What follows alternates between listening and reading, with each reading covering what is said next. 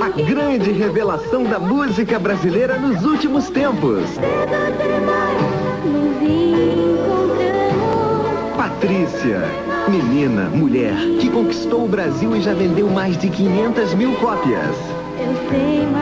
Patrícia, em todas as lojas, em discos e fitas BMG Ariola.